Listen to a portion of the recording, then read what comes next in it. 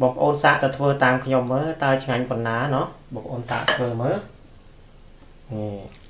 ឃើញទេបាទឆ្ងាញ់ណាស់ឆ្ងាញ់ណាស់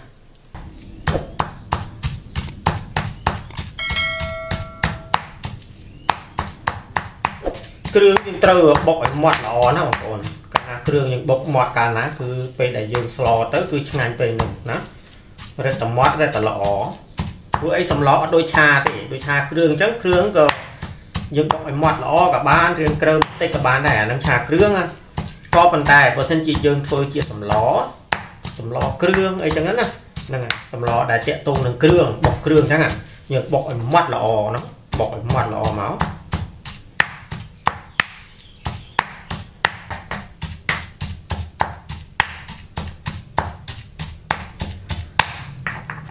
បាទជំរាបសួរបងប្អូនប្រិមិត្តទាំងអស់ជាទីស្រឡាញ់រាប់អាន ថ្ងៃនេះមកជួបជាមួយខ្ញុំបាទទៀតហើយម្ហូបថ្ងៃថ្ងៃនេះគឺជាម្ហូបអ្វីទៅអូខេថ្ងៃនេះមាន ប្រហិតបាទប្រហិតនេះគឺជាប្រហិតសាច់គោណាប្រហិតសាច់គោឥ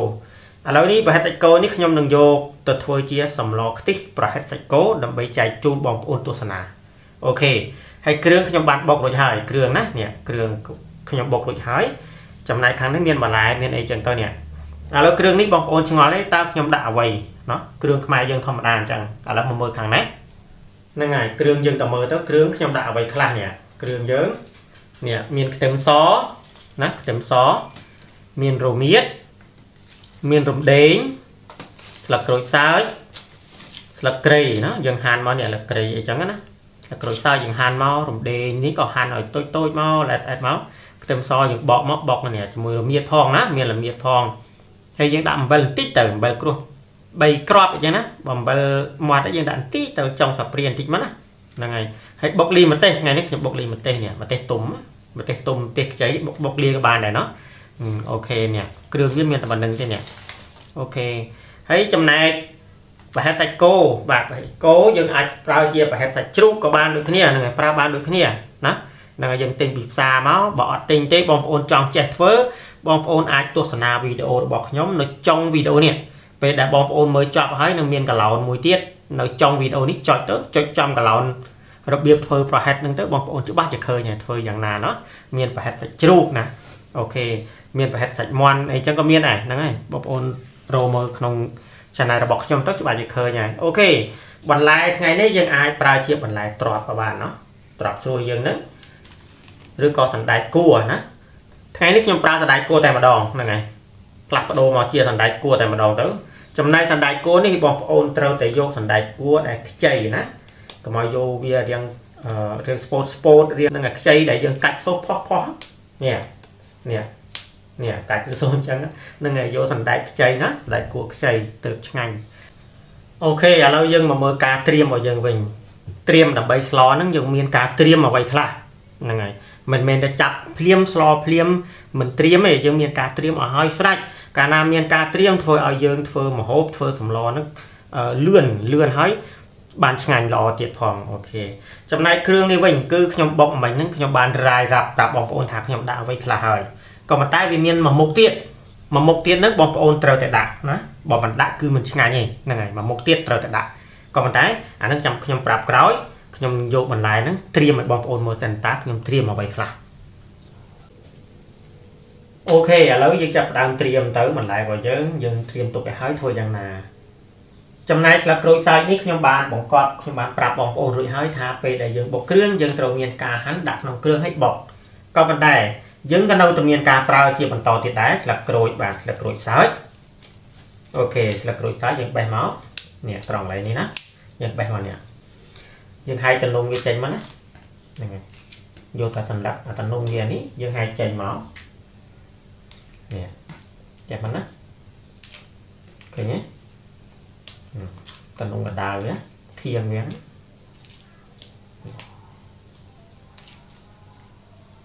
OK នេះបានប៉ុណ្ណឹងនេះបងប្អូនឥឡូវនេះយើងទុកឲ្យ live សិនណាទុកឲ្យ live សិនអូខេចំណែកខាងនេះវិញគឺជាម្ទេសណាម្ទេសទុំយើងអាចប្រើម្ទេសនាងដៃទុំក៏បានដែរឬម្ទេស hel យើងហ្នឹងក៏បានដែរនេះម្ទេសខ្មាំងយើងហ្នឹង OK ហើម្ទេសខ្មាំងព្រោះវាហឹរខ្លាំងណោះហ្នឹងហើយឥឡូវនេះយើងដាក់អញ្ចឹងមកយើងហាន់វាឆិតឆិតណានេះហាន់វាឆិតមកណាឆិតទៅមកណាឃើញទេម្ទេសនេះពេលដែលយើងបុកគ្រឿងយើងក៏ដាក់ដែរហ្នឹងហើយឥឡូវនេះយើងមានការហាន់ឆិតចេះទៀតនេះឃើញទេបងប្អូន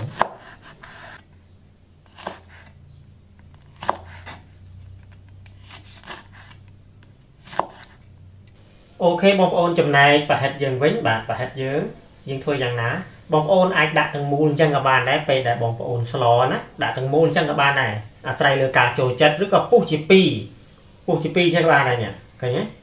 ពុះជា2អញ្ចឹងក៏បានដែរឬក៏បងប្អូនធ្វើក្បាច់មិនក៏បានដែរអាស្រ័យលើបងប្អូននេះពុះឆែកអីនេះក៏បានដែរពុះមាត់ចាបអីចឹងហ្នឹងហើយឃើញទេអញ្ចឹងមកក៏បានដែរដូចគ្នាហ្នឹងហើយធ្វើមិនឲ្យតែឆ្ងាញ់ទៅឲ្យតែស្អាតទៅណាហ្នឹងហើយបងប្អូនតែងនេះទៅ បើសិនជាអត់ទេក៏ដាក់ទាំងមូលនឹងបណ្ដោយទៅអត់បញ្ហាទេណាអូខេបន្តមកទៀតដល់ពេលដែលយើងត្រូវប្រើសណ្ដែកគួរណាសណ្ដែកគួរយើងធ្វើយ៉ាងណាអូខេយើងហាន់វាមកនេះណាយើងហាន់ប្រហែលជា2ថ្នាំងដៃបានហើយកុំឲ្យវែងណាកុំឲ្យវែងពេកហ្នឹងហើយយើងហាន់ប្រហែលដូចជាយើងហាន់ឆាអញ្ចឹងនេះប្រហែលជា2ថ្នាំងដៃហ្នឹងហើយកុំឲ្យវែងជាងនឹងឬក៏កុំឲ្យខ្លីជាងនឹងហ្នឹងណានេះល្មមប៉ុណ្្នឹងមកនេះឃើញទេបងប្អូនមើលឲ្យហើយណានេះឃើញទេ នេះប៉ុណ្្នឹងមកហ្នឹងហើយយើងហាន់មកនេះយើងហាន់ហាហ្នឹងហើយយើងហាន់ហើយយើងយកវាទៅលាងណាហ្នឹងហើយអូខេយើងដាក់លាងវាណាសណ្ដែកគួរណាហ្នឹងហើយដាក់លាងវាត្រាំទឹកស្ទុះទៅដើម្បីអីដើម្បីឲ្យវារឹតតែស្រួយហើយត្រូវអូខេបងប្អូនឥឡូវគ្រឿងផ្សំខ្ញុំបានត្រៀមរួចអស់ហើយបាទត្រៀមរួចអស់ហើយនេះ យើងមានប្រហិតហ្នឹងហើយប្រហិតយើងនេះណាប្រហិតបងប្អូនដាក់ប្រមាណក៏បានដែរហ្នឹងហើយបងប្អូនធ្វើតិចធ្វើច្រើនដាក់ច្រើនទៅហ្នឹងហើយបើថាធ្វើតិចដាក់តិចទៅបន្លែក៏អញ្ចឹងដែរយើងដាក់ឲ្យសមល្មមគ្នាអញ្ចឹងណាហើយគ្រឿងក៏យ៉ាងអញ្ចឹងដែរយើងបុកឲ្យល្មមសម្លខ្មែរយើងគឺជាការច្នៃប្រឌិត យើងច្នៃប្រឌិតយើងបន្ថែមយើងបន្ថយធ្វើទៅឲ្យឆ្ងាញ់ត្រង់កន្លែងនេះណាហ្នឹងហើយហើយសណ្ដែកគួរនេះខ្ញុំក៏បានត្រាំទឹករួចហើយឃើញទេលាងត្រាំទឹកឲ្យ ស្រស់ឲ្យស្រួយអញ្ចឹងនេះឲ្យបានស្រួយអញ្ចឹងនេះអាម្ទេសក៏ឆិតហើយអញ្ចឹងស្រេចទៅ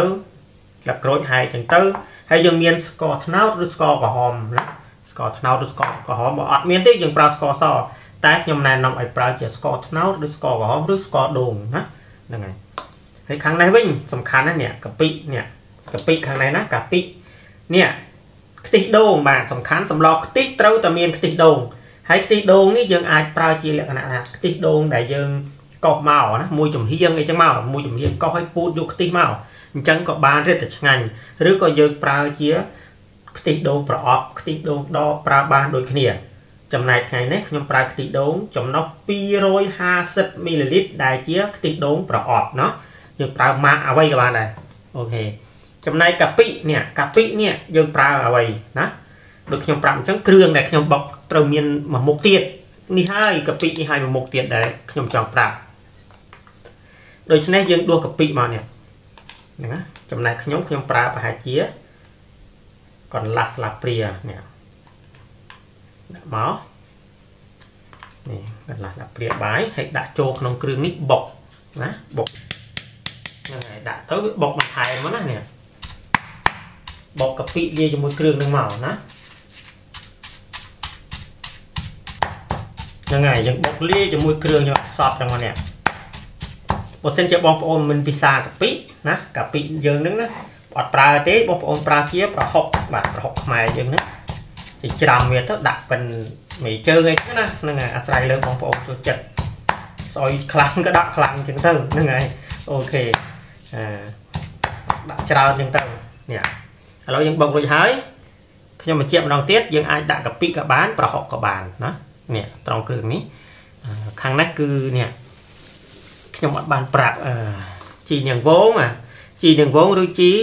ក្រហមណាជីនាងវងឬជីក្រហមក៏យើងប្រើដែរតោះបងប្អូនយើងចាប់ផ្ដើមធ្វើទៅតើខ្ញុំដាក់អ្វីខ្លះដាក់អ្វីមុនតោះអូខេបងប្អូនឥឡូវនេះយើងចាប់ផ្ដើមធ្វើទៅចាប់ផ្ដើមស្លបាទ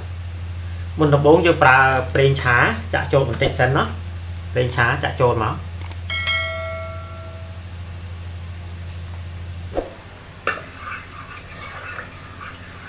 ហ្នឹងហើយមើលឃើញថាប្រេងឆាយើងនេះវាក្តៅចាប់ដើមក្តៅហើយយើងដួសគ្រឿងដែលយើងបានបុកមិញដាក់ចូលមក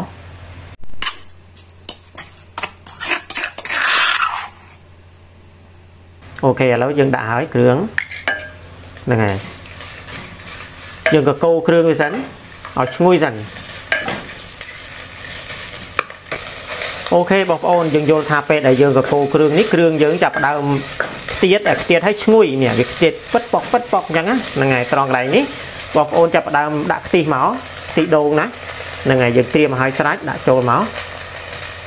ហ្នឹងហើយ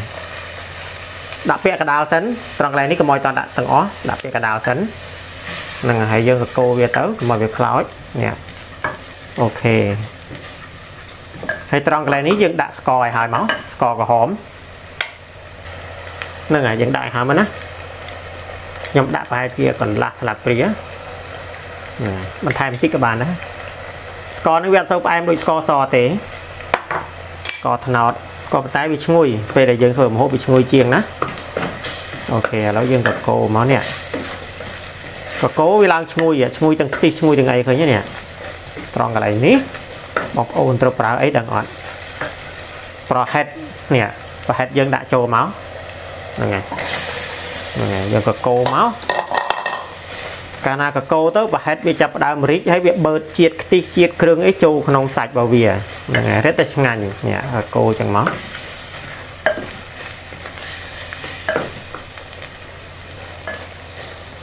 អូខេពេលដែលយើងកកូរត្រង់កន្លែងនេះហើយយើងចាប់ផ្ដើមប្រើទឹកដាក់ចូលមកត្រង់កន្លែងនេះយើងដាក់ទឹកសិនណា ហ្នឹងហើយចាក់ទឹកចូលមកឲ្យសមល្មមកុំឲ្យរាវពេក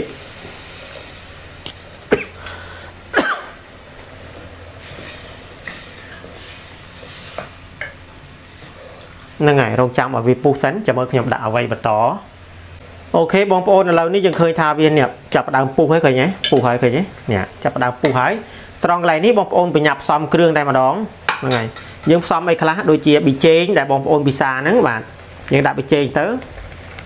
ប៊ីចេងយើងដាក់ចូលទៅអំបិលយើងដាក់នឹងគ្រឿងហើយហើយកាពិក៏ប្រៃដែរដូច្នេះបងប្អូនត្រូវភ្លក់មើលបងប្អូនអាចបន្ថែមអំបិលឬក៏ទឹកត្រីក៏បានដែរណាបើសិនជាមិនត្រូវម៉ត់បើសិនជាវាសាបណោះបន្តមកទៀតបងប្អូនត្រូវប្រញាប់ដាក់បន្លែ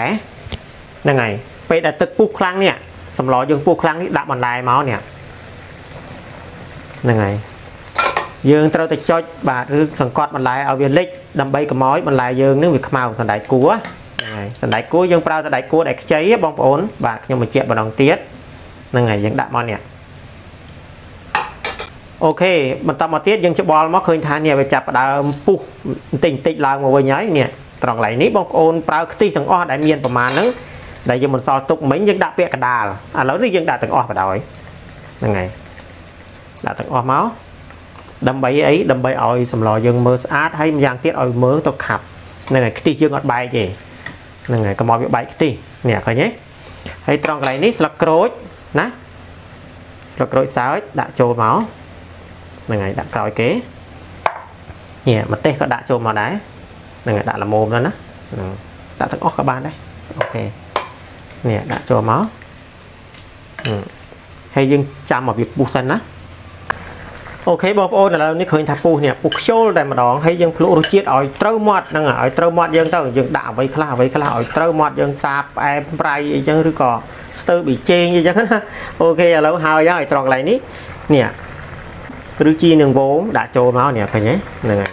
OK ដាក់ចូលមកគ្រាន់តែសកត់ចេះមកយើងបិទភ្លើងហ្នឹងហើយនេះសកត់សកត់ចេះមក OK បងប្អូនគ្រាន់តែប៉ុណ្ណេះយើងបានហើយសម្លខ្ទិះបាទសម្លខ្ទិះប្រហិតសាច់